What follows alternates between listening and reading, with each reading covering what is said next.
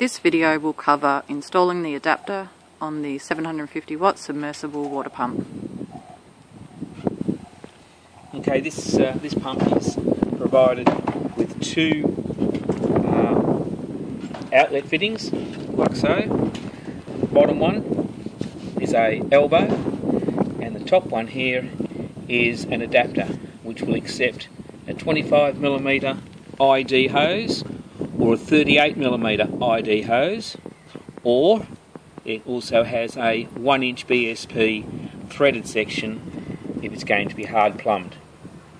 When the, the 25mm BSP, um, uh, 1 inch BSP thread is used, the top section of the, uh, of the, of the fitting where the 25mm uh, hose would fit needs to be cut off with a hacksaw so that the, the uh, hard piping can be fitted.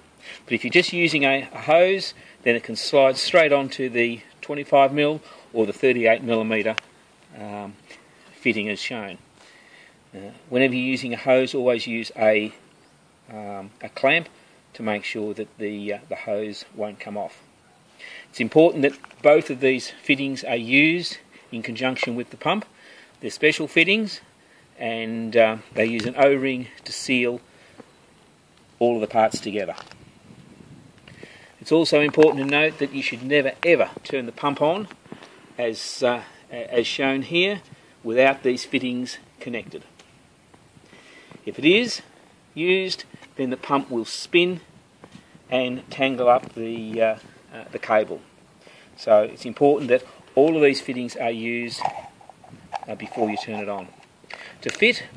The elbow can go either way. It's only a matter of, of uh, screwing that, that straight in, like so. And you continue to turn until the O-ring has started to enter the pump housing. There it goes, it's just in there now. You can turn it like so, and at the moment it's sealed, so you can move the, the fitting backwards and forwards in actual use because it's fully, uh, the O-ring has fully entered the pump housing so it's sealed. You do not have to tighten it up firmly like so to make it seal. You have that, that amount of movement in the fitting provided that O-ring is fitted.